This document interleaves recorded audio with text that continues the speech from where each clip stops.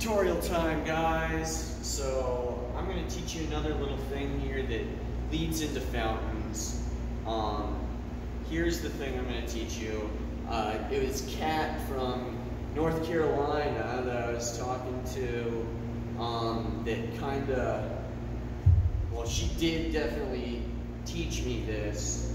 Um, it's kind of like a, I don't know, it's like a stall in a way. Um, but it, it actually leads into fountains. And I want to show you something real quick before I actually teach you that. So the levels of fountains. So like hip level, shoulder level, and then there's this upper level. Okay, I'm getting down on my knees to make sure that that's getting in the video.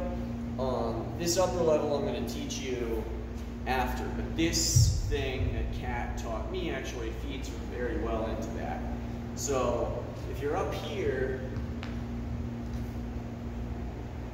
you're coming across, and as it starts to come down your forearm here, you're gonna push, um, you're letting it kind of rest on this back hand right here, and then you're pushing this way.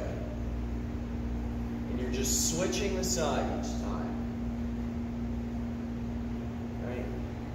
It's actually a very good shoulder workout. um, yeah, you're you're just and you can get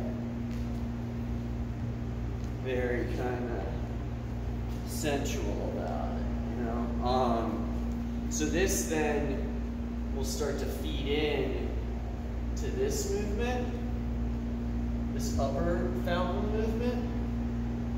So that's what I'm preparing you for. So give that a shot.